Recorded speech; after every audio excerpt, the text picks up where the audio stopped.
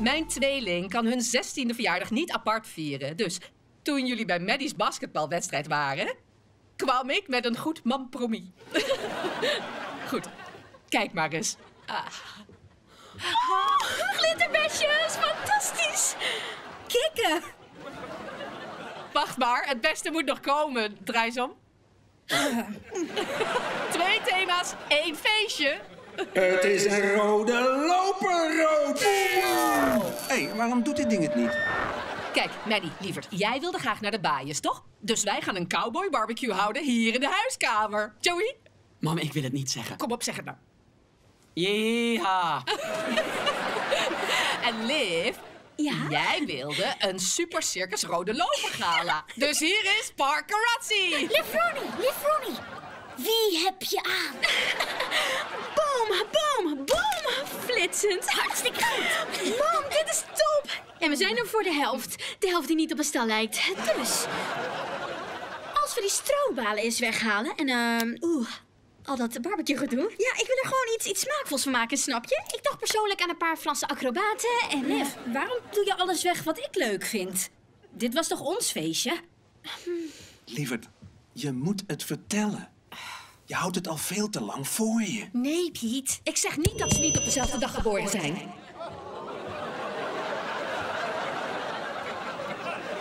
Hallo dames, zing dat lied. Oeh, ah, ah, ah, ah, ah, ah. Lachen, dat karaoke ding is perfect. Wie is er dan? Wat zei jij nou net? Niet op dezelfde dag geboren? Meiden, je moeder en ik willen jullie iets vertellen. Ga je gang. Liv en Maddie. De dag dat jullie geboren werden was de mooiste in mijn leven. Nou, dat is leuk voor mij. Maar eigenlijk waren het de mooiste dagen. Want ja, Liv, jij bent geboren op de vijfde om precies vier voor twaalf. En Maddie, jij bent geboren om twee over twaalf op de zesde. Maar eh, vijf is altijd mijn geluksgetal, omdat ik geboren ben op de vijfde. Ik ben een vijf. En ik ben duidelijk een nul. Wacht, dus Maddie heeft nog nooit een feestje gehad op haar echte verjaardag? Wat voor een ouders zijn jullie eigenlijk? Dit is bespottelijk en ik herhaal bespottelijk.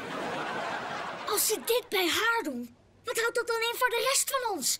Ben ik zes? Ben ik twaalf? Misschien ben ik negen. Hey, Hey. Maddie, lieverd, ik vind het zo erg.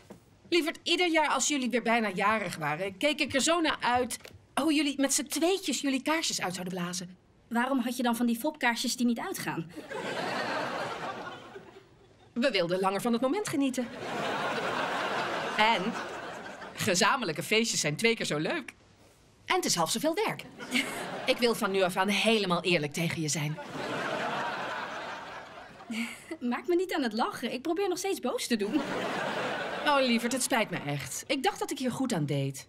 Toen jij en Liv klein waren, waren jullie onafscheidelijk. Ik ben jullie moeder. Ik kon mijn meisjes hun dag toch niet afnemen? Probeer je nu echt te bewijzen hoe goed jij bezig bent geweest? Ja, dat is de intentie. Oké, dus zeg maar wat je wilt doen voor je verjaardag. Je vader en ik zullen het regelen. Niets is te gek. Oké, er zijn grenzen. Oh, je hoort het, hè? Helemaal eerlijk. Mm, Bedankt, mam, maar eerlijk gezegd is het laatste waar ik op dit moment zin in heb mijn verjaardag. Ik weet niet eens of ik het dit jaar eigenlijk wel wil vieren. En ik denk dat Liv er net zo over denkt. Denk er maar over na. En tot die tijd maak ik je lievelingseten. Kippenragout. Oké, ik ga het niet maken. Het zit bevroren in een doos. De waarheid is echt heel bevrijdend.